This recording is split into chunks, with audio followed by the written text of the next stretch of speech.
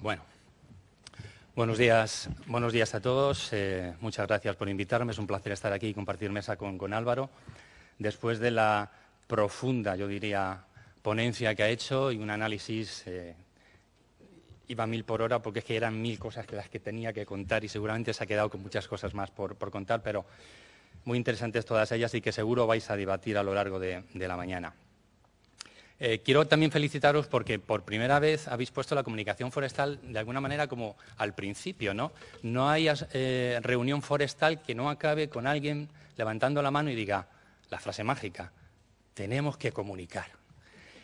El sector forestal tiene que comunicar. Bueno, pues por fin lo hemos puesto al principio, así que enhorabuena. Ay, esto para atrás. Vale. En diez minutos no nos va a dar tiempo a dar eh, la solución, ¿vale? Sí que quiero hacer un análisis somero y rápido eh, de la situación y una posible solución intermedia hacia lo que yo creo que debería ser la solución final, que lo ha apuntado Álvaro sobre la necesidad de eh, una asociación interprofesional, ¿no? que quizás podría ser una especie de portavoz, de voz única del mundo forestal ante la sociedad. Hasta que eso llegue, si es que llega alguna vez, tendremos que dar pasos intermedios. Bueno, Voy a hablar de cuatro puntos. Cómo se trata lo forestal en prensa, en los medios de comunicación, muy rápidamente, porque eso llevaría solamente a todo un día de análisis. ¿Qué es información forestal? ¿Qué entiendo yo por información forestal? ¿Cómo comunicar lo forestal? Y una última propuesta que es un decálogo de información forestal. Bueno, ¿cómo se trata lo forestal en prensa? Aspectos positivos. Creo que en los últimos años hay una mayor presencia en medios de comunicación sobre lo forestal. ¿vale? El último año se ha notado especialmente. Eh, se aceptan ya incluso eh, algunos mensajes eh, incuestionables dentro de los medios de comunicación que hasta hace años era, eso era impensable. Uno de ellos es la necesidad de la gestión forestal, sí o sí. La gestión forestal solucione problemas. Uno de ellos el de los grandes incendios, el segundo el del cambio climático. Ese mensaje básico que viene repitiendo el mundo forestal desde hace 25 años que yo trabajo con él, por fin ha calado en la sociedad y se repite en los medios de comunicación. Decían el Álvaro, en el Congreso este de la Propiedad Forestal, que hubo un periodista que decía, yo ya tenía preparado un párrafo que decía, esto mismo, para meterlo en cualquier información que había sobre incendios, yo metía este párrafo al final y decía, la gestión forestal es la solución, la gestión del paisaje es la solución, ¿vale? De acuerdo. Entonces creo que como aspecto positivo es que ya se están dando mensajes adecuados y también de manera muy positiva creo que los periodistas estamos eh, tratando e informándonos con más fuentes forestales y mejores fuentes, más especializadas. Técnicos, universidades, centros de investigación, publicaciones especializadas. Hay un esfuerzo enorme en portavocía de algunos líderes forestales que, es de agradecer y también de algunas asociaciones que están haciendo, yo creo que una buena labor de, de comunicación. Voy a poner dos ejemplos, PEF y FSC están haciendo una labor de comunicación muy, muy interesante. Negativo del tema eh, del tratamiento forestal en los medios de comunicación. Eh, tiene que luchar contra unos enormes prejuicios. La sociedad sigue manteniendo todavía unos prejuicios enormes frente a lo forestal, entendido solo como aprovechamiento y entendido además como un señor con motosierra que va a cortar los árboles, lo cual es un pecado mortal. Lamentablemente todavía se lucha contra esos prejuicios. Sigue, por tanto, habiendo un debate, en mi opinión, falso entre conservación y gestión, como si fueran cosas distintas, como si la gestión no fuera precisamente una herramienta de conservación. ¿De acuerdo? Y en los medios de comunicación se trata lo forestal principalmente como incendios forestales. Es decir, ¿cuándo es noticia fundamental lo forestal? Pues cuando hay incendios forestales, cuando hay una alarma social. Es decir, se reduce a la campaña de incendios forestales principalmente, que son los tres meses de verano. Aunque bien es cierto que como bien sabéis los incendios forestales están abriendo la horquilla por delante y por detrás, ya no son tres meses, ya vamos a cuatro y probablemente acabamos en ocho en nada. Por tanto, creo que falta información continua y variada sobre el mundo forestal. Es decir, tenemos que superar la barrera de, los incendios forestales, que está muy bien, que por cierto han servido para poner encima de la mesa este mensaje. ¿no? Han sido los dispositivos de extinción, en mi opinión, los que han conseguido poner encima de la mesa y que todo el mundo aceptase que era necesaria la gestión del paisaje si queríamos tener algún éxito frente a los incendios forestales. Y es curioso, porque es que esto lo lleva diciendo el mundo forestal en su conjunto toda la vida, pero no ha sabido decirlo o no ha tenido el clima adecuado para que ese mensaje calara. El caso es que han tenido que ser los eh, dispositivos de extinción los que llegaran y dijeran, no me deis más autobombas, no me deis más helicópteros, gestióname el paisaje, dame una oportunidad. ¿De acuerdo? Y por tanto creo que lo forestal son muchas cosas y que eso es eh, lo que no se está tratando en los medios de comunicación y lo que hay que procurar, procurar cambiar. Así que, ¿qué es información forestal? En mi opinión, la información forestal está a medio camino entre cuatro cosas. Es información científica, es información ambiental, es información social y es información económica. Probablemente podemos poner alguna cosa más, pero me voy a centrar en estos cuatro que me parecen los fundamentales. ¿Por qué digo que lo forestal, la información forestal debe ser información o es información científica, en mi opinión? Porque debe atender a los procesos que suceden en el medio natural. Es decir, porque debe difundir ciencia forestal, selvicultura, sanidad, quería ponernos, sanidad botánica, ecología, biodiversidad, incendios. Hay un enorme trabajo en investigación en incendios forestales. Eh, la información, por tanto, forestal debe centrarse en información científica. Tiene ahí un campo enorme de trabajo y que puede dar mucha información en los medios de comunicación sobre este aspecto. Es también información ambiental y deberíamos hablar de fijación de CO2, de especies naturales protegidos, de conservación de biodiversidad, de regulación hídrica, de fijación del suelo, servicios ecosistémicos que decía Álvaro, que, que en algún momento tendremos que valorar y la sociedad deberá saber la importancia de tener unos bosques bien gestionados, cómo le beneficia a él que vive en una gran ciudad que haya gente en el territorio gestionando ese paisaje. Y si no le decimos lo que le vale, pues al final eh, no lo va a valorar, no lo va a entender y por tanto no va a apostar o no va a pedir a sus políticos que gestionen el territorio.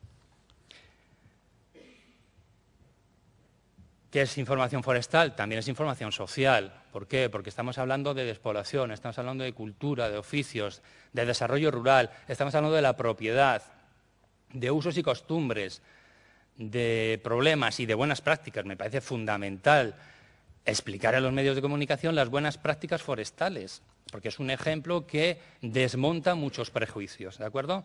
Así que debemos hablar, cuando hablemos de lo forestal en los medios de comunicación, de todos estos aspectos también, de los aspectos sociales que están íntimamente relacionados. Hablaba Álvaro de la falta de profesionalización, de la falta de personal que, que quiera trabajar a veces en el mundo forestal, bueno, tenemos que dignificar de alguna manera esa profesión y ese trabajo porque si no va a ser muy difícil tener profesionales que quieran dedicarse a esto y decir profesionales significa, en mi opinión, decir gente bien pagada, eh, con salarios dignos y que pueda vivir de esto, no que ahora me dedico tres meses a trabajos silvícolas, mañana saco resina, eh, me voy de camarero y al otro trabajo en la piscina de mi pueblo.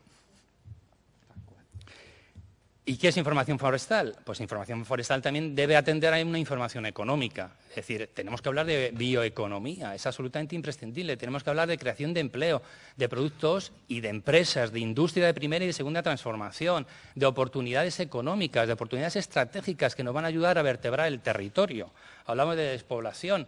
Y, yo creo que el mundo forestal entiende perfectamente la importancia de lo forestal para evitar la despoblación, sobre todo en aquellos municipios de, montaña. Pues tenemos que hablar, evidentemente, de todo esto, de magnitudes económicas. Así que cuando hablemos de información forestal, creo que los medios de comunicación y, por tanto, todos aquellos que queráis hacer comunicación forestal, debéis atender a estas cuatro cosas de manera fundamental, porque hay un enorme campo informativo en todo esto, en el ámbito forestal, y en cada uno de esos campos se puede sacar información que va a ser eh, publicada en los medios de comunicación. Un consejo fundamental. Detrás de cada una de estas actividades siempre hay personas. Hay que ponerle cara, hay que ponerle nombre y apellidos a todas las personas que están haciendo gestión forestal o relacionado con la gestión forestal. ¿Qué puede hacer el sector?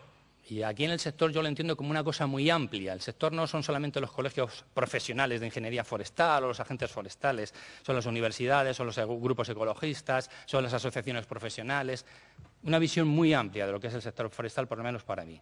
Pues debe facilitar información y promover la especialización periodística. Me parece fundamental trabajar con los medios de comunicación y trabajar con los periodistas para que sean sensibles, de acuerdo, a una realidad forestal que hasta ahora han permanecido pues ajenos a ella.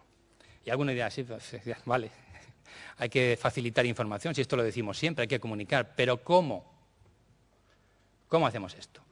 Pues igual que vosotros planificáis, eh, estamos hablando ahora de la estrategia forestal, de la remación, del plan forestal, pues igual que planificáis vosotros lo forestal, hay que planificar, planificar la comunicación.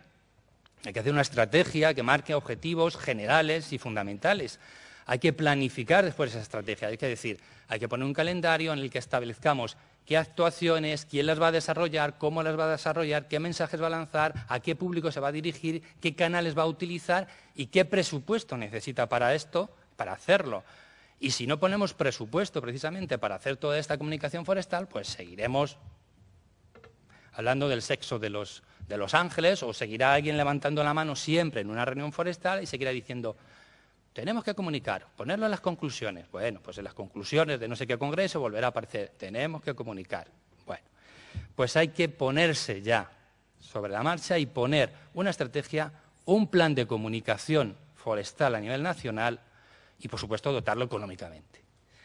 ¿Cuántas organizaciones tienen estas tres herramientas?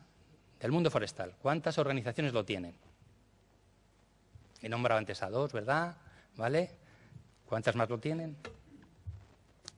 Bueno, pues ahora que tenemos la estrategia y el plan forestal, eh, encima de la mesa sería, en mi opinión, una magnífica oportunidad para, de verdad, y de verdad es no solamente reconocerlo, sino poner el presupuesto y hacer un plan de comunicación que desarrolle esta comunicación. Y aquí viene la pregunta clave, ¿no? que decía, ¿es necesaria solo una voz que actúe de portavoz del mundo forestal? ¿Es eso posible hoy día? Realmente estamos capacitados, hay una organización capaz de lanzar un mensaje fuerte que lo entienda toda la comunidad, toda la sociedad y que represente a todas las sensibilidades que digo yo que hay en ese sector forestal, que es un sector, en mi opinión, mucho más amplio o muy amplio.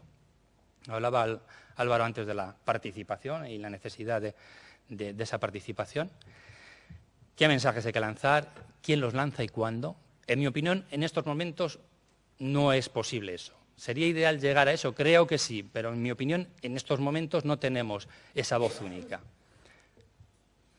¿Y qué es lo que os propongo como paso intermedio para llegar precisamente a, a ese punto? Pues propongo la creación de un decálogo de información forestal. Ese decálogo de información eh, forestal creo que podrían adherirse pues, las asociaciones de periodistas y periodistas a título individual. Ya existe un decálogo de información sobre cambio climático y algunas de las cosas que dicen ahí, poco menos que eh, es una adhesión inquebrantable y, emocional a la información sobre cambio climático. Yo no, no pretendo tanto, pero sí que creo que es importante hacer ese decálogo porque debería estar redactado por los actores del sector forestal con ayuda de, los periodistas, ¿de acuerdo? Y debería mostrar un compromiso con la información forestal de calidad en los medios de comunicación, que vaya más allá de la información de los incendios forestales en verano y que nos permita tener información forestal en esos cuatro ámbitos que he dicho antes a lo largo de todo el año y una información variada. ¿Qué objetivos tendría? Pues evidentemente mostrar a la sociedad la importancia de la gestión forestal para la conservación de los bosques, en primer lugar, ¿no? Para la obtención de, recursos naturales que son renovables, que esto es muy importante decirse a la sociedad, y la prestación de unos servicios ambientales que todo el mundo disfruta, pero que parece que la gente no es consciente de que esos salen de algún sitio y que los bosques son fundamentales para esos servicios ambientales. Serviría también ese decálogo para compartir y fijar mensajes clave que sean socialmente incorporados al pensamiento general. Este verano habréis visto cómo han salido expertos forestales debajo de las piedras diciendo que la solución a los incendios forestales era la gestión forestal. Estupendo, eso ha sido como los vulcanólogos estos que han salido después del, volcán este de La Palma, ¿no? Todo el mundo sabía de esto. Bueno, pues es una oportunidad, yo creo que histórica, que tiene el sector forestal en su conjunto para potenciar y afianzar de una vez por todas ese tipo de mensajes e ir un poquito más allá, de tal manera que ya no discutamos la necesidad de la gestión, sino que sea realmente, como decía el periodista, ese párrafo que está siempre ahí y que está presente ya en la mentalidad de todas las personas. Ese decálogo también debería contribuir a la, mejora del ejercicio periodístico y al cumplimiento de la función social que yo creo que los medios de comunicación tienen ante la gestión sostenible del, territorio. Me parece imprescindible que los medios apuesten por esa gestión sostenible y yo creo que cualquier persona mínimamente sensible está de acuerdo con esto. Y, por tanto, promovería una mayor frecuencia informativa de las cuestiones forestales en los medios de comunicación. Algunas de las cosas me atrevo yo a adelantar ese decálogo que deberíamos redactar entre todos y prepararlo, debería eh, contener ese decálogo un compromiso con la divulgación de la información científica en la gestión forestal sostenible, popularizar terminología que permite una mayor cultura forestal social, dar al sector forestal un enfoque transversal, hablaba antes yo creo de esto, de esto Álvaro, relacionado con estas cuatro cuestiones de la economía, la social, la cultura, la conservación y la prestación de servicios ecosistémicos y el cambio climático. Es decir, lo forestal no es solamente una cosa sectorial, lo forestal afecta a todo y esa visión transversal, en mi opinión, es fundamental que la sociedad la perciba. Otra de las cuestiones que ese decálogo podría eh, contener es eh, ayudar a difundir buenas prácticas forestales desde el punto de vista social, ambiental y económico, conocer el factor humano que está detrás de todo lo que eh, supone una actividad forestal y promover también la especialización en los medios de comunicación sobre información forestal o, como mínimo, un mayor conocimiento de los periodistas sobre estas cuestiones. Y, por último, yo creo que ese decálogo debería contener un mensaje claro en favor de la gestión forestal como garantía de conservación de los bosques eh, frente a las grandes amenazas, que son el olvido, el abandono, son los grandes incendios, ahora mismo es lo que más nos preocupa, pero yo creo que es el cambio climático que está ahí en el fondo porque o lo gestionamos nosotros los bosques o lo va a gestionar los grandes incendios o el cambio climático. Y eso yo creo que es un, lujazo y una irresponsabilidad que cualquier eh, persona con dos dedos de frente no puede, no puede consentir. Así que la pregunta es, y yo ya termino, eh, ya que estamos aquí, una representación de todo el sector forestal, o buena parte de él, seremos capaces de hacer ese decálogo que potencie estos mensajes clave frente a la sociedad y trabajar con los medios de, comunicación. Eso yo creo que es la propuesta que dejo para hoy y que si lo consiguiéramos yo de momento ya creo que sería un gran avance. Muchísimas gracias.